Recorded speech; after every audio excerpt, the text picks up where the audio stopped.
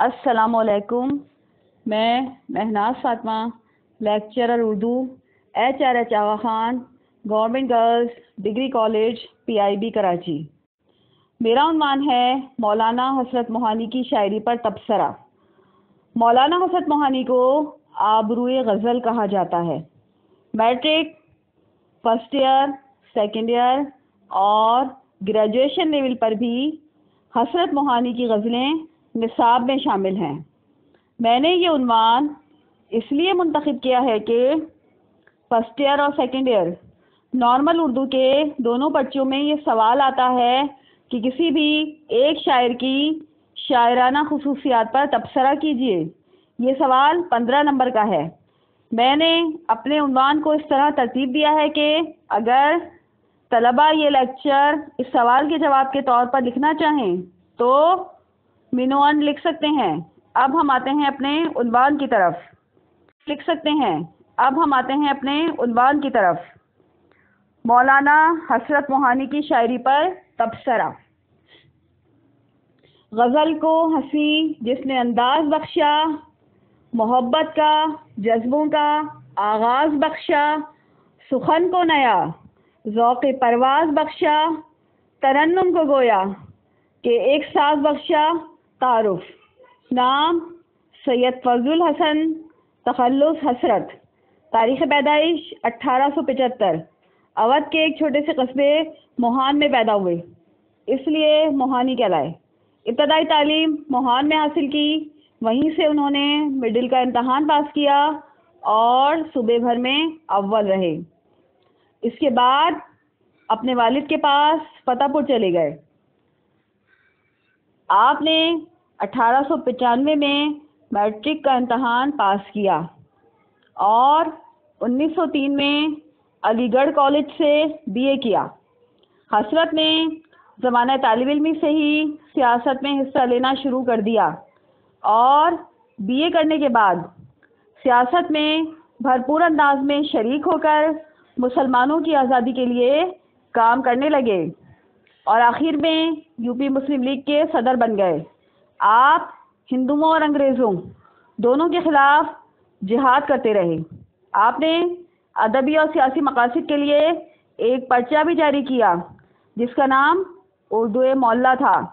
इस पर्चे में हिंदुओं और अंग्रेज़ों के ख़िलाफ़ सख्त तनकीद होती थी, जिस पर उन्हें कैद बंद की सख्तियाँ बर्दाश्त करना पड़ी। है मशक़ सुखन जारी चक्की की मशक्क़त भी। है मशक़ सुखन जारी चक्की की मशक्क़त भी। एक तुरफा तमाशा है हसरत की तबीयत भी। शायरी। मौलाना की शायरी का आगाज़ तो बचपन ही से हो गया था। वो फितरी तौर पर शायर थे। उन्होंने लखनऊ के मशहूर शायर हज़रत तस्लीम लखनवी की शागिर्दी इख्तियार की और बहुत जल्द गज़ल गो शोरा में इनका शुमार होने लगा।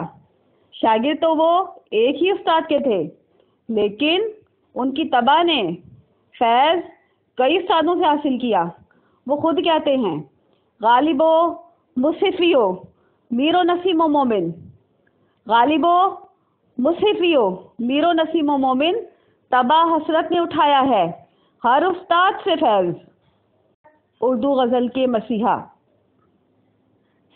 हसरत उर्दू गज़ल के मसीहा हैं। उन्होंने गज़ल के मुर्दा जिसम में रूपों की और उसकी खोई हुई आबरू वापस कर दी। हसरत तगज़ुल के शायर हैं। तगज़ुल उनके यहाँ शबाब पर है।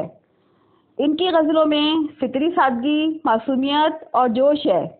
उन्होंने शगुफ्तगी और रंगीनी से गज़ल में नई तोानाई और वसत पैदा की और रईसुलमतगज़लीन कहलाए।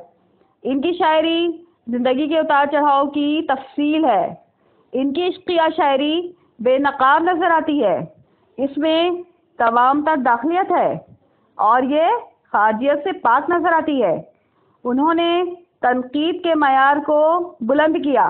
इश्क तसवुफ़ और सियासत इनके ख़ास मौजू हैं।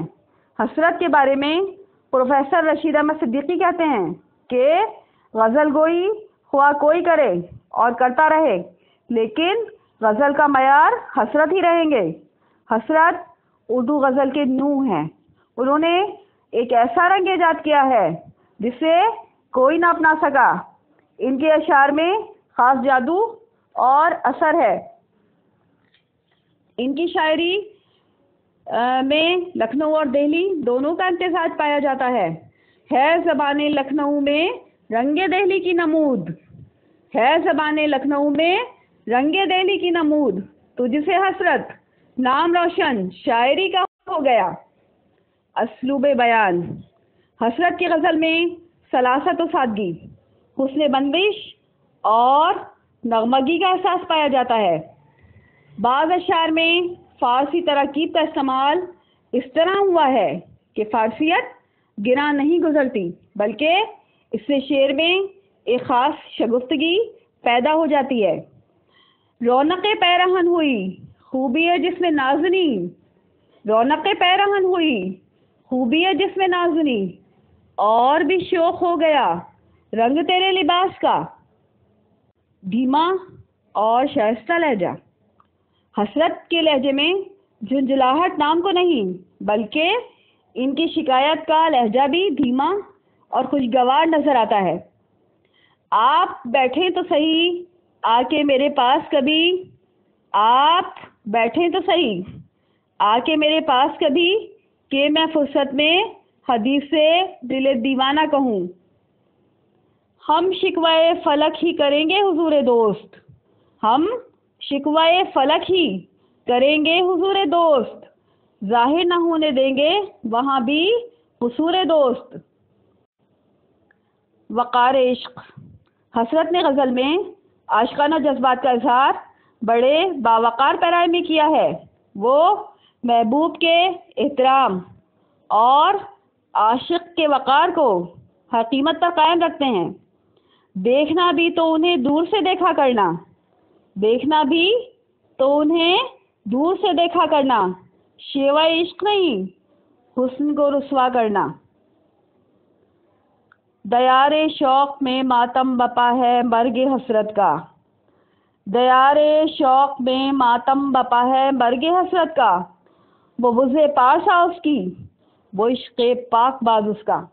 पाया शिकनी उर्दू के बड़े बड़े मुतगज़लिन के बरक्स, हसरत की गज़ल में आम शायराना रिवायात। और तलबीहात। मसलन?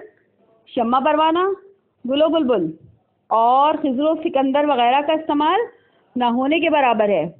इसके बावजूद इनकी गज़ल में वो तमाम खसूसियात मिलती हैं जो एक कामयाब गज़ल गो शायर में होनी चाहिए। ना सही आप जफा से जो नहीं बाज आए। ना सही आप जफा से जो नहीं बाज आए।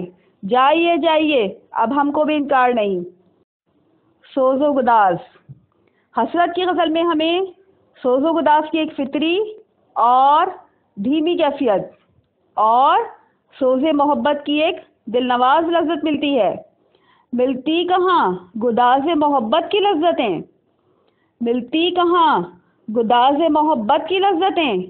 रंजे फिराक यार भी। राहत फजा है क्या? खुलूस व शराफत। असरत की गज़ल में खुलूस शराफत और वज़ादारी का जो अहवाल पेश किया है, वो हमें उर्दू शायरी में मीर के सिवा कम ही मिलता है।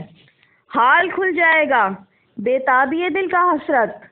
हाल खुल जाएगा, बेताबी दिल का हसरत। बार बार आप उन्हें शौक से देखा ना करें आमेजी हसरत ने सियासत में अमली तौर पर भरपूर हिस्सा लिया, जिसका असर उनके कलाम पर भी पड़ा। उन्होंने सियासत की वजह से कैद बामुशक्क़त भी गुजारी।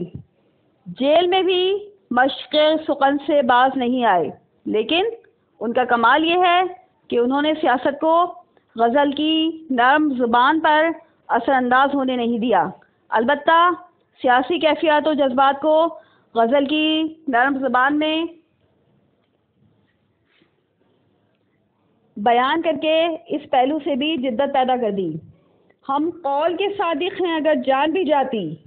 हम कौल के सादिक हैं। अगर जान भी जाती, वल्लाह, कभी खिदमत अंग्रेज़ ना करते।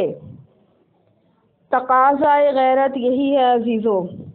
तकाज़ा गैरत यही है अजीज़ों कि हम भी रहें, उनसे बेजार होकर। आरफाना रंग। हसरत की ज़िंदगी, दरवेशाना और कलंदराना किस्म की थी। इनकी शायरी का बड़ा हिस्सा ऐसे अशार पर मुश्तमिल है जिसमें आरफाना रंग पाया जाता है।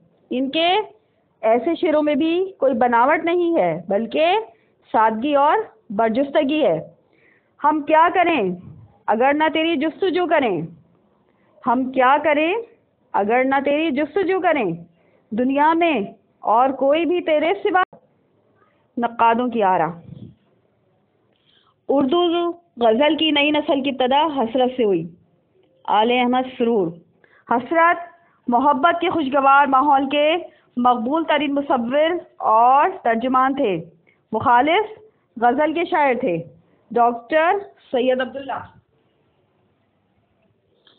हसरत की शायरी के चेहरे पर एक ऐसी सुर्खी है, जो शायद ही किसी गज़ल को शायर के चेहरे शायरी पर नज़र आए।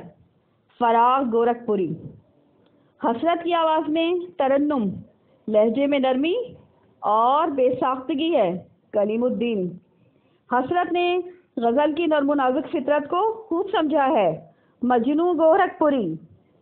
हसरत का तस्वर इश्क नवाबी नहीं, इंसानी है, डॉक्टर तासीर। हसरत ने तमाम वाक़ात और हालात बयान किए हैं, लिबास की खुशबू, सोने की कैफियत पसीने की महक, दांतों में उंगली दबाना और नंगे पाँव कोठे पर आना। ये सारी बातें नई हैं। आले अहमद सरूर। अब मैं अपने इस लेक्चर का अख्ताम इस हसरत के शेर पर करूँगी। शेर दर असल हैं वही हसरत। शेर दर असल हैं वही हसरत। सुनते ही दिल में जो उतर जाएँ। शुक्रिया।